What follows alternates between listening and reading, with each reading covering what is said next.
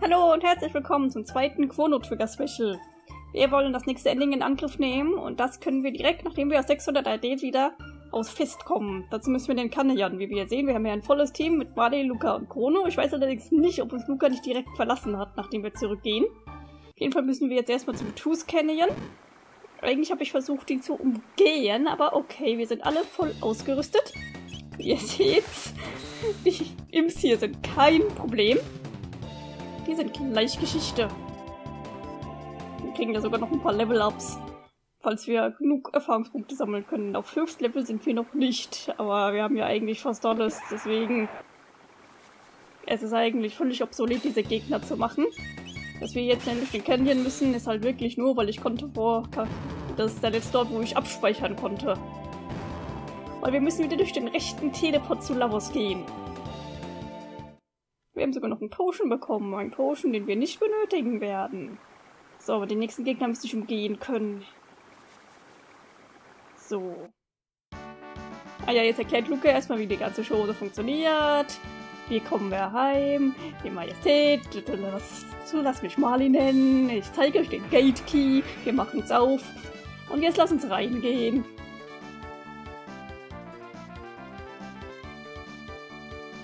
Und ja, wie ist ja der Prinzessin und Luca ist super. Wir wissen das. Wir haben den Gate Key, ich weiß. Und wir wissen auch, dass dieser Gate Key ja durch das Amulett von Mali aufgetaucht ist. Aber wahrscheinlich hat der Teleport auch was damit zu tun. Das Ding ist halt zu einer Zeitmaschine statt einer Materiemaschine geworden in dem Moment. Und eigentlich stammen die Portale alle von Lavos.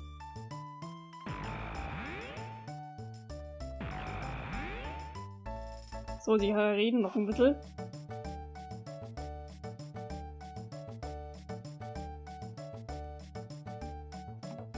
So, was ist los? Ach, Luca verlässt uns leider. Das heißt, wir müssen es wieder zu zweit machen. Naja, das sollte in Ordnung sein. Nee, Marley. Wir wollen nämlich das hier tun. Zu Dave und Lavos gehen. Ich hab gehofft, dass Luca noch ein bisschen länger bleibt.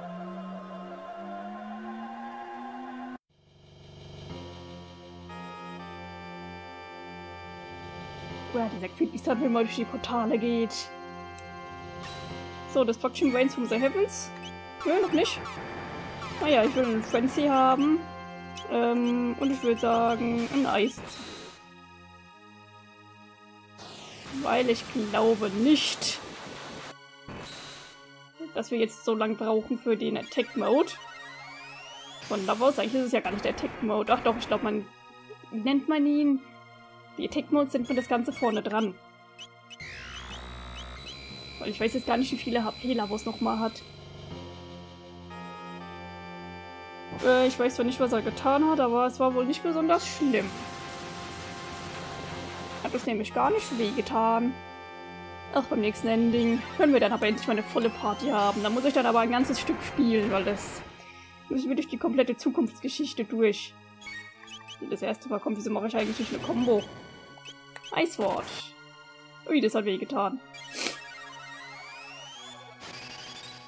Und hopp, macht die Schale kaputt. Ich weiß, dass die Schale nicht so stark ist. Jawohl.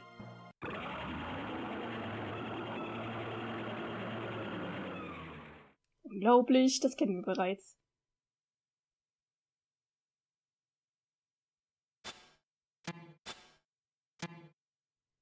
Ganz schön tief drin.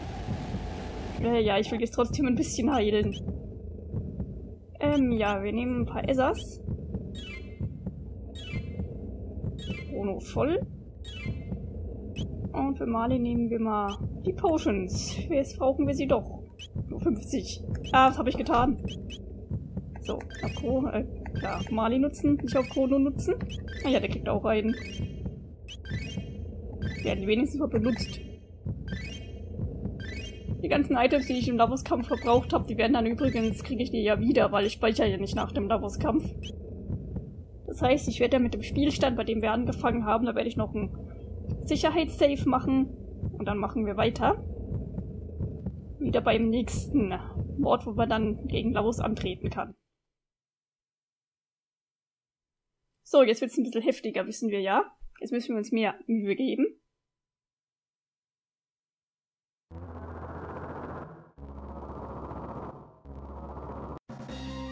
Das muss Lavos sein. Oder Zell. Sieht nämlich so wie Zell aus. Total, ich hätte echt gehofft, dass Luca wenigstens mitbleibt. Open the door to Oblivion, ja. Tut's das? So, äh, irgendeiner der Arme war, hat immer geheilt. Gucken wir erstmal den rechten Arm angreifen. So, hast.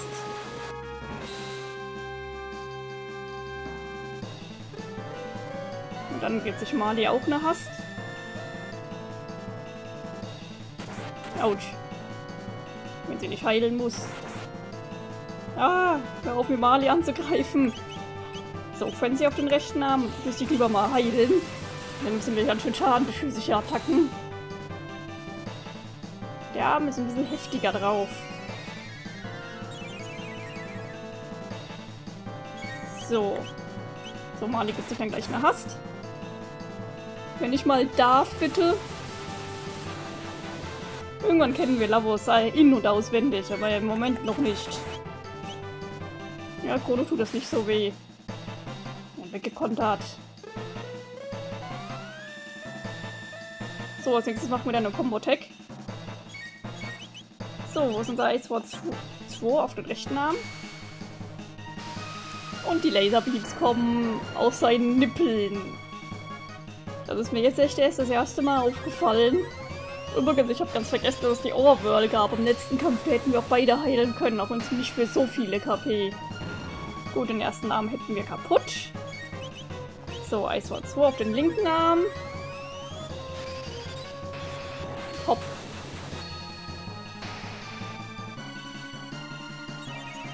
Wusste ich's doch. Dieser linke Arm muss weg. So, weg damit. Ach nö, nicht das. Bitte nicht. Und immer auf Chrono. Jetzt kann der wieder verwirrt werden. Ja.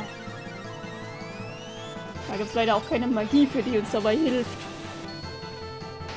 So eine verdammte Scheiße, aber auch. So, Eiswort. Hm, ich glaube, danach ist mal Zeit für eine Aura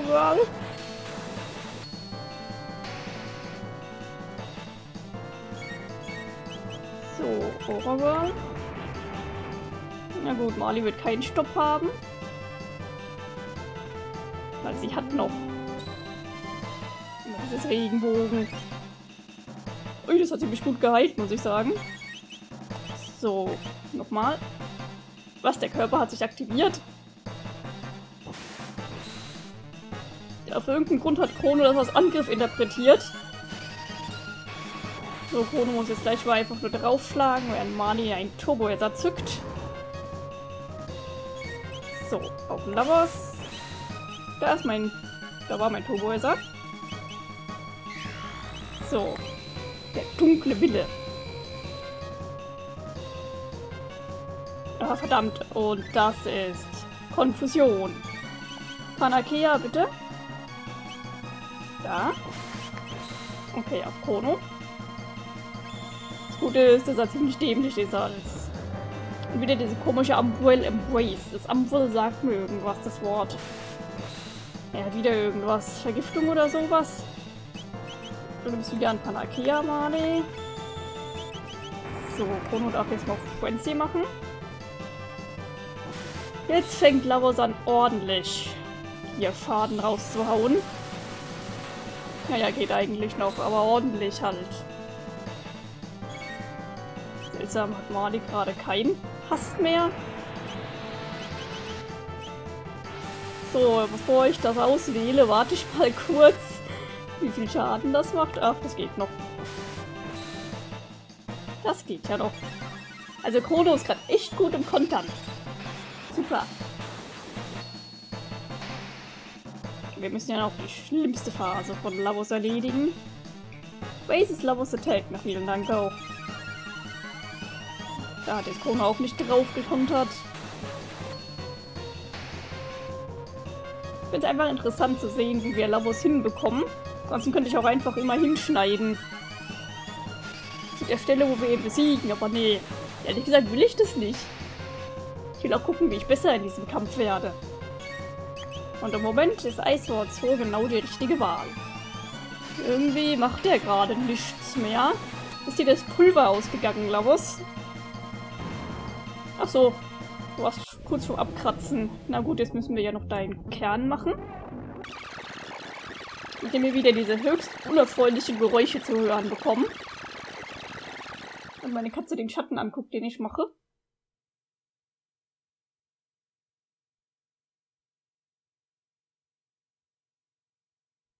So, Mordi, wo bleibt dein Text?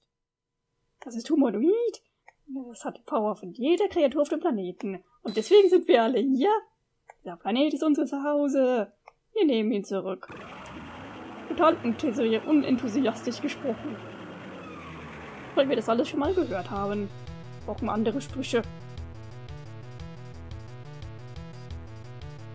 Vor allem wisst ihr immer noch nichts von Lavos. Ihr wisst eigentlich erst demnächst was von Lavos. Ähm, erstmal hast. So, Frenzy auf den linken. Weil der heilt. Und mit dem können die ja Triple Attack machen und so. Jo, schon fängt er an. Äh, was? Himmlische Tränen? Ui, das hat wehgetan. So, Chrono haut drauf. Mali muss ich gleich was Bestimmtes nehmen. So, jetzt auf den rechten. Eine Barriers hier. Was haben die gerade gemacht? Ihr habt nicht aufgepasst.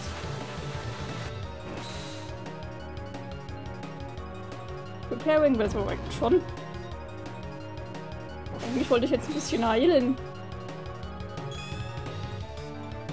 So, okay. Was machst du denn? Brauchen eine Overwhirl. Äh, Overwhirl? Ah, verdammt, Combo. Ja, es ging fix. Wir müssen uns halt ein bisschen vorbereiten. Ich muss Mali gleich mal hauptsächlich Unterstützung leisten. Der Chrono braucht noch ein bisschen mehr Heilung. So, ähm, Frenzy kann ich schon machen. Auf den linken. Auf den da. So, du machst einen Q-Spill auf Kono, bitte. Dann wieder ein Turbo-Esser. Und danach brauchst du eine Hast auf dich selbst. Und Kono haut zu lange einfach auf den rechten Lavos-Core drauf. Auf den da. Turbo-Esser. Auf Chrono. Ah, er kann ja jetzt wieder Frenzy machen. Oh, die ultimative physische Attacke, ja. Verdammt, tut Mali immer noch ordentlich weh. Da kann ich überhaupt keine Hast auf sie machen. So. Ja, Defense restored. Aber wir hauen trotzdem. Verdammt, das ist zu viel. Wir müssen wirklich warten. So, Q auf dich selbst solange die anderen angreifen, bis er wieder Defense Laward macht. Aha. Oh, jetzt habe ich einen ganz normalen Angriff gemacht, verdammt. So, Frenzy, bitte. Und du kannst jetzt endlich mal Hast auf dich machen. Dann wird Chrono geheilt. Dann könnt ihr wieder Combo-Attacken machen, oder? Wenn ich dazu komme. Meine, das Spiel tut einen austricksen und denkt, der mittlere ist Lavos, aber der rechte ist Lavos. Verdammt. Er ist wieder da. Nun, er hat noch die Fenster down. Unholy Light. Slow. Hoffentlich wird keiner von uns langsam.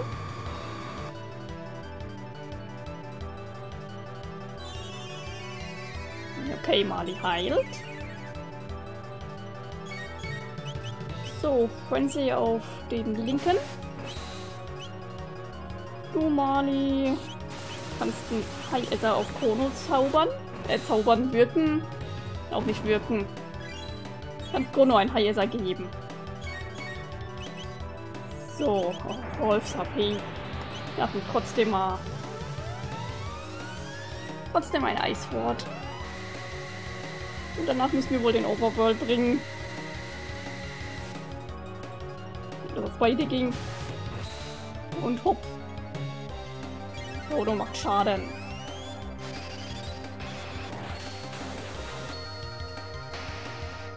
Ha, das hat Schaden gemacht. So, Overworld. Der temporale Shift, auch wenn ich nicht so genau weiß, wo wir da eigentlich sind. Die Musik ist jedenfalls immer wieder episch.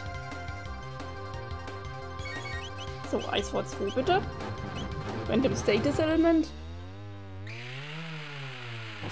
Ist ja irgendwas passiert? Okay, jetzt ist er alleine. Jetzt musst du gleich zwei wiederbeleben. Potz. Verdammt, Defense Restored. Das heißt, wir sollten jetzt normale Attacken machen. Jetzt er sich wieder. Dass er nicht mehr Defending macht. Wie Defending? Ja, er verteidigt sich. Jetzt nicht mehr? Supi. Hey, klasse, dass du darauf konterst. Also worauf Chrono alles kontert, ist super. Weiter geht's. Wir machen wieder ein Ice Sword 2.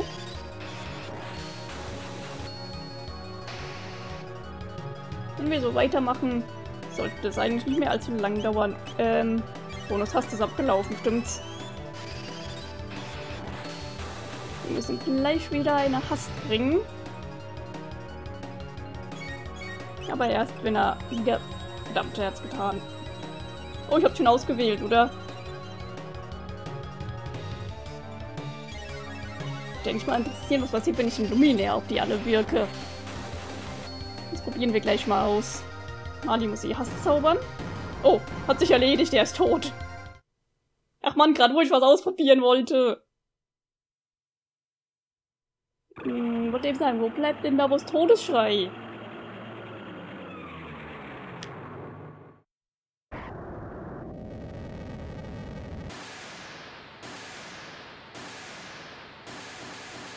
Jetzt müssen wir am nächsten Ending landen. Ich glaube Ending 4. Müssen wir eine Liste abhaken.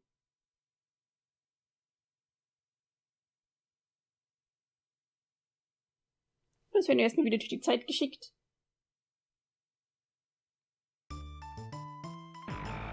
Das Fest. Jo, und nun?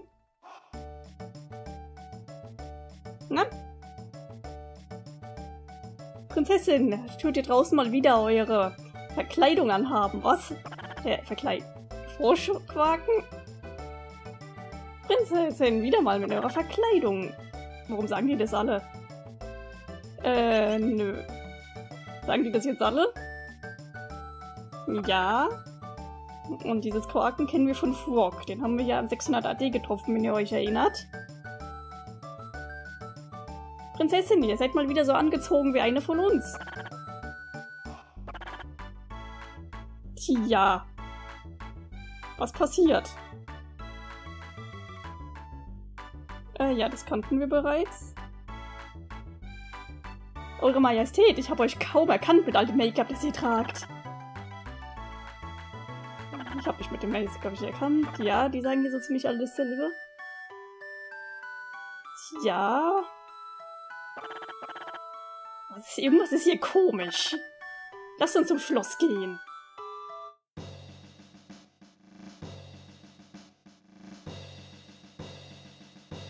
Vater, die Leute in der Stadt benehmen sich merkwürdig. Beruhige dich, Nadja, wo warst du denn? Ich hab dich draußen herumhuppeln sehen, mal wieder angezogen wie ein Mensch. Äh, jeder, jeder sagt das. Was hat das zu bedeuten? Du weißt ganz genau, was das bedeutet. Ich weiß nicht, was für ein Spiel du spielst, aber du musst dich nicht so anziehen. Das muss ganz schön, ähm, unbequem sein. Schon, du bist gerade rechtzeitig. Ich wollte mir gerade diesen Film ansehen. Der 400 Jahre alte Film der Hochzeit unserer Vorfahren. Wir haben ihn gefunden als wir den Schatzraum aufräumten.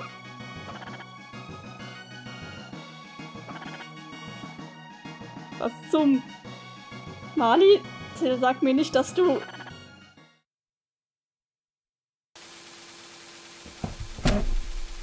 Was zum... Sind das die Credits jetzt? Und zwar so richtig alt. Richtig. Wie so ein Film aus den 30er Jahren. Sogar mit 8-Bit und allem. Wow, dieser Soundeffekt nervt ja. Jetzt.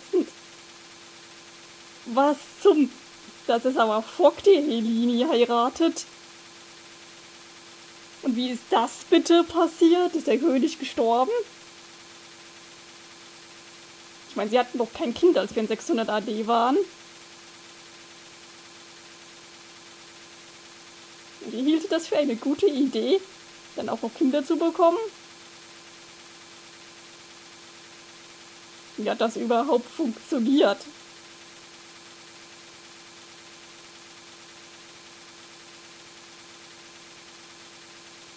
Ja, sie scheinen ihre Schwüre gegeben zu haben. Das sieht widerlich aus. Nein! Das Ende. Wir haben wohl irgendwie die Vergangenheit verändert. So, gibt's hier noch irgendwas zu sehen? Der werden wir zu den Credits geschickt.